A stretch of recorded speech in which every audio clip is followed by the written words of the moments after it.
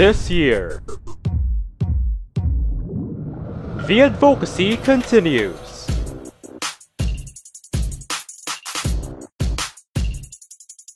The legacy lives on. Mr. and Miss USA 2022